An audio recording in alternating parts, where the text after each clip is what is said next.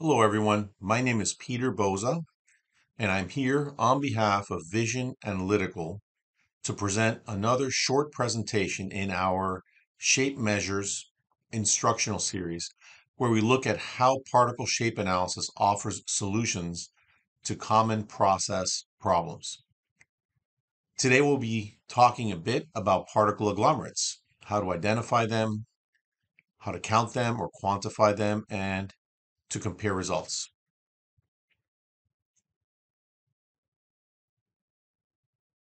So first of all, what are agglomerates and why should we care? When it comes to raw materials that go into final product, in many cases, size of particles is often an important physical property to measure. Ensuring a consistent particle size of raw materials is essential for the flowability, packing, wetting, and many other performance factors of the end product. When measuring particles, we typically look at statistical histograms and some basic statistics.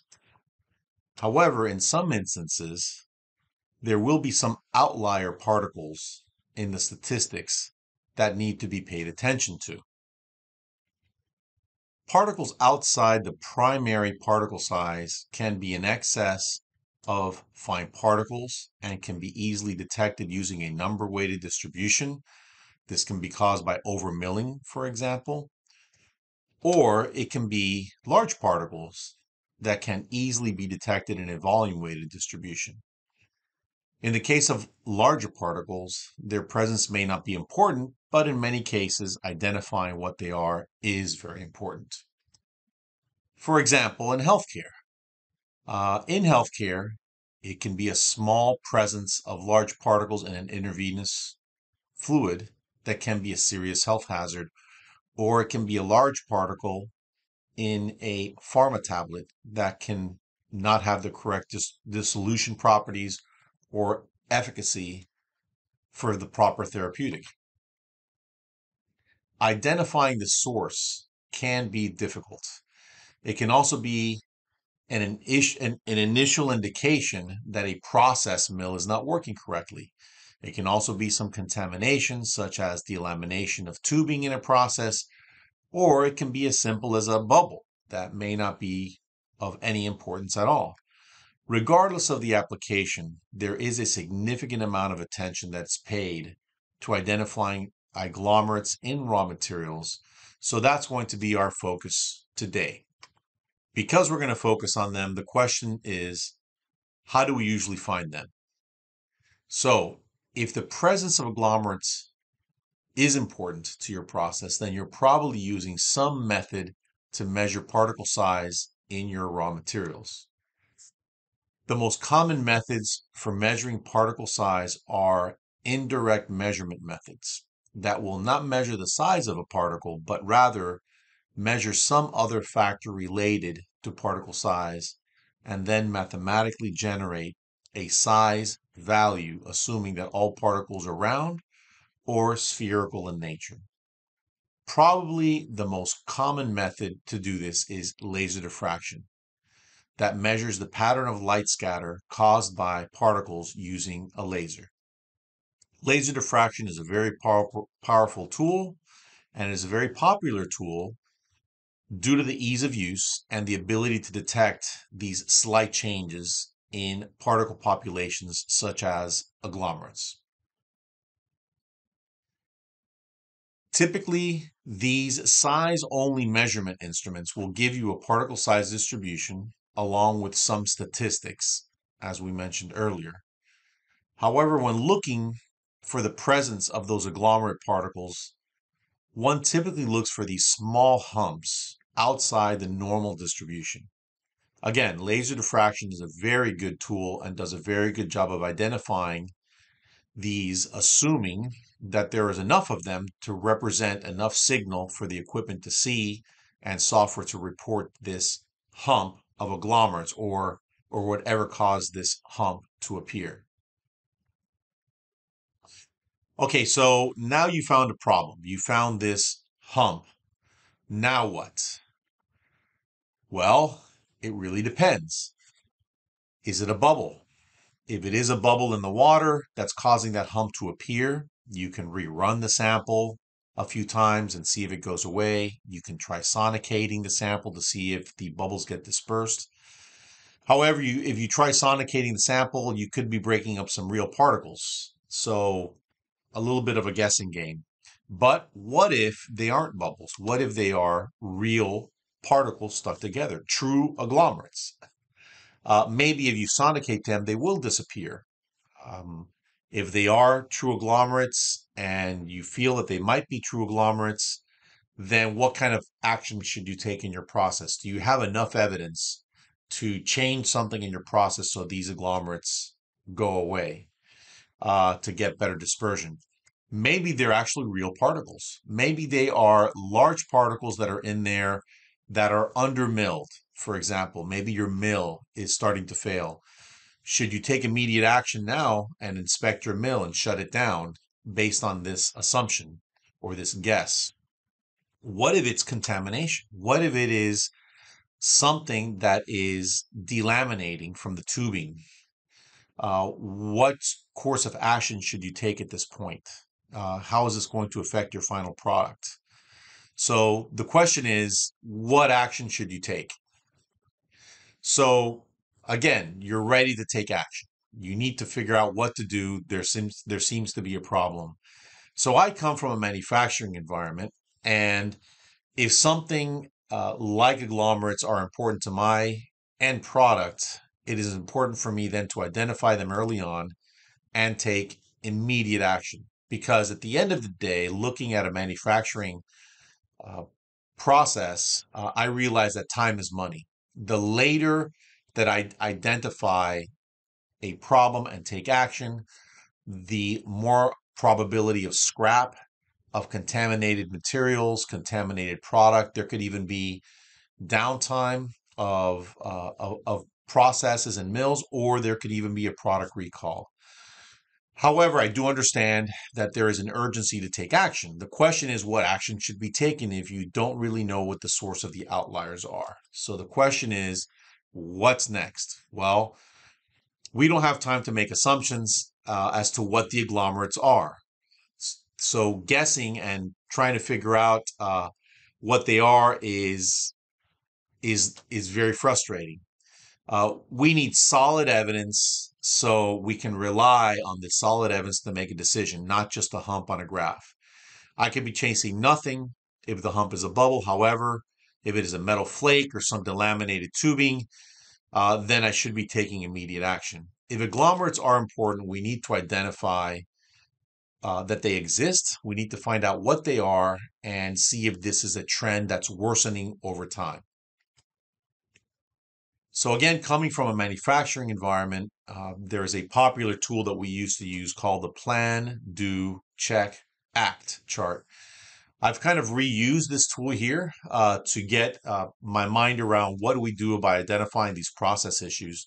And I just renamed them to identify, quantify, compare, and act. So step number one is definitely, are there agglomerates? If there are agglomerates, that's that hump in the histogram, we also need to know what they are uh, so I can take immediate action and be accurate as to where to take action. Again, is it a bubble that I can ignore? And can I have some objective evidence to prove that I could ignore it? Uh, is it a contamination uh, issue? Is it an agglomerate? Again, I need to know that information is there and what they are so I can take immediate action fast. Secondly, we need to quantify the problem. Is this a growing problem?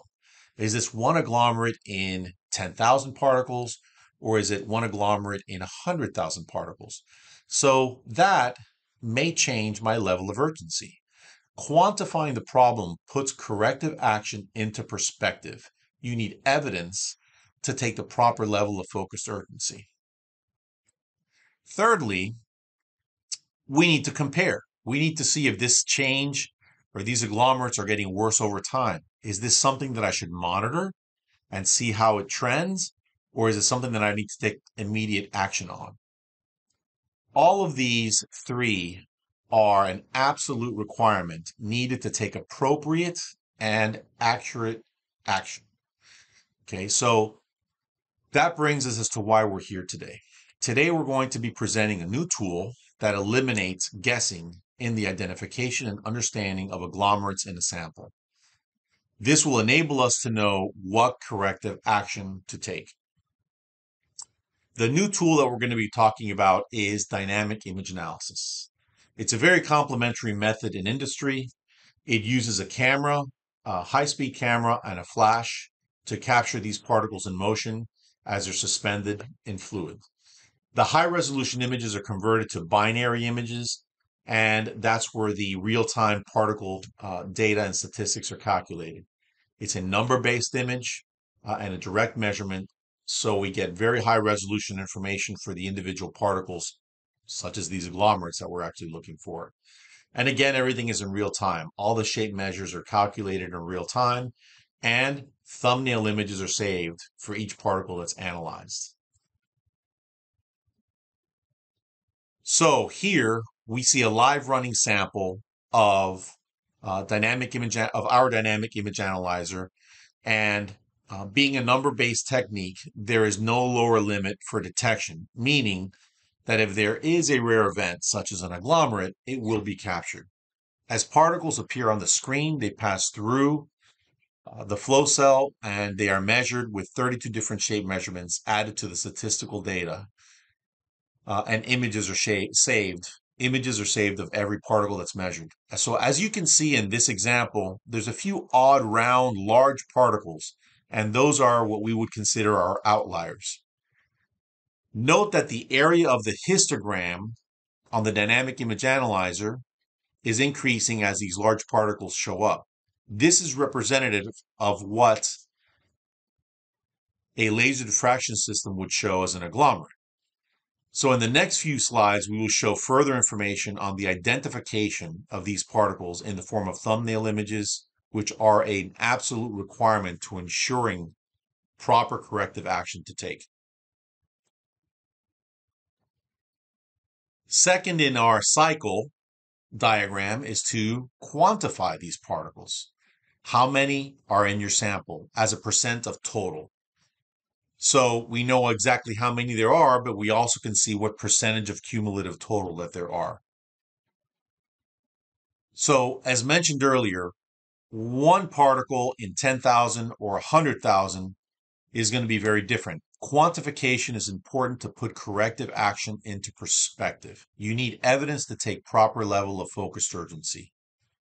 Statistics allows the user to quantify the exact number of this population of interest and know what percentage of the total it represents.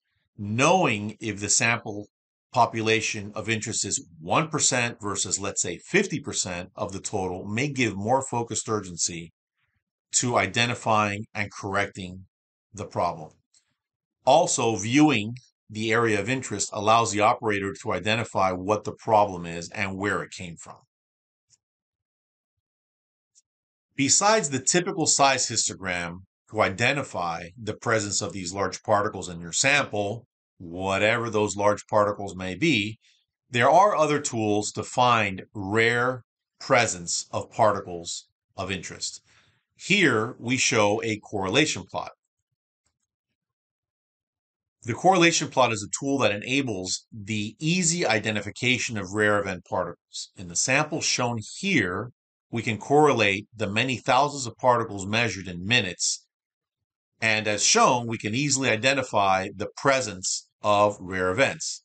This tool makes them easy to find. In this case, out of 35,000 particles, 514 or just 1.5% were identified as rare event particles or these agglomerates. However, just knowing they are there is not enough to take action to correct a process. Again, are they bubbles and I don't have to worry about it? Are they agglomerates? Are they delamination of my tubing or are they contaminants? We need to know to find and to try to identify what they are. Correlation plots enables the user not only to identify the presence of these particles, but also to show what they are. This is an absolute requirement, once again, to know if you're going to take action or not and what type of action to take. This is an excellent feature of dynamic image analysis. Now, we can use dynamic image analysis to compare samples over time to determine if this is a growing problem. Should uh, are the are the agglomerates increasing over time? Are they decreasing over time? Is it a consistent problem? Are they staying steady over time? Also, if the process changes uh, to address these agglomerates, uh, you have to identify if the process change that you're making is being impacted by this by uh by the change. So the only way to do it is to overlay data over time and see if the change that you're making is having a positive impact. So what we do is we try to overlay these samples and compare size and shape measures and the presence of these large particles. In this video, we show the overlaying of three sequential analysis and how the presence of these larger particles are increasing over time. This can be a good quality control tool to capture problems early and reduce downtime. Let's do a summary. We have identified that there are some agglomerates present or something that makes up that large peak on a size histogram. We have further identified what they are using dynamic image analysis to show the thumbnail images of all those larger particles. Again, this, this gives us objective evidence to know what corrective action to take, if any at all. We know the level of presence of these large particles by being able to count or quantify these particles and be able to see them all. And we have been able to compare samples over time, run to run, using overlays to quantify if this is a growing problem that requires focused urgency or not. So, in conclusion, by having more information, your action plan becomes more accurate and effective. So this proves that dynamic image analysis is a highly useful tool for particle identification that can save users time and money. That's it. I hope this presentation has shown dynamic image analysis uh, does definitely play a key role in ending the guessing game of what agglomerates are in the process. Thank you for your time. And if you have any questions, we can be reached at particleshape.com. Thank you.